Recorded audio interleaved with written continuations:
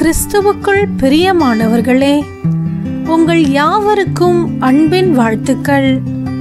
இன்று நாள் முழுவதும் தேவன் தாமே உங்களோடு இருந்து உங்களை வழிநடத்துவாராக. இன்றைய நாளுக்காக தேவன் அருளும் வேத வசனம் ஏசாயா நாற்பத்தி நான்காம் அதிகாரம் இருபத்தி இரண்டாம் வசனம் உன் மீறுதல்களை மேகத்தைப் போலவும் உன் பாவங்களை கார்மேகத்தைப் போலவும் அகற்றிவிட்டேன். என்னிடத்தில் திரும்பு உன்னை நான் மீட்டு கொண்டேன். ஆமேன். தினம்தோறும் தேவன் உங்களுக்காக வைத்திருக்கும் வார்த்தையை தெரிந்து கொள்ள தொடர்ந்து விசுவாசம் டிவியை பாருங்கள்.